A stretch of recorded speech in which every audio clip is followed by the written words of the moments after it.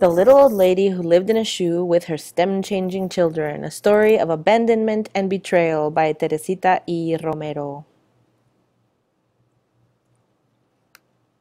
Once upon a time, there was an old lady who lived in a shoe, and she had so many children she didn't know what to do. There were nine of them living in a shoe together.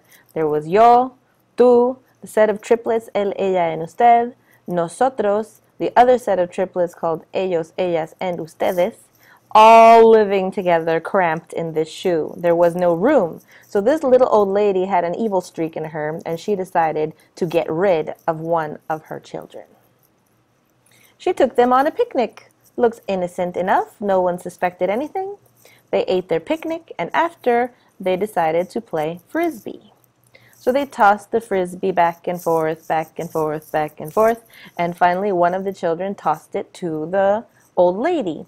And the old lady saw her opportunity. She threw the frisbee deep, deep into the forest and told nosotros to go back out, to go into the forest and get it.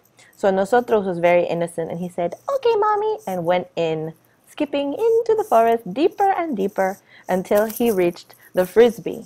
When he got to the frisbee, it was so dark in the forest, so full of trees, he couldn't find his way out.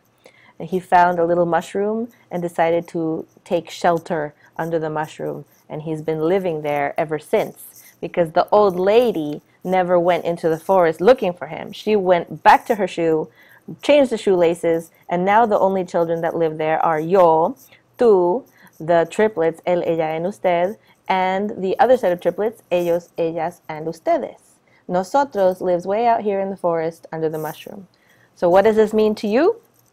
Stem changing verbs in the present tense. All the children who live in the shoe with the little old lady, they get the stem change. But poor nosotros gets nothing. So it's yo juego, tú juegas, él, ella, usted juega. Ellos, ellas, ustedes juegan. But nosotros, this is plain old jugamos. Pobrecito, poor nosotros.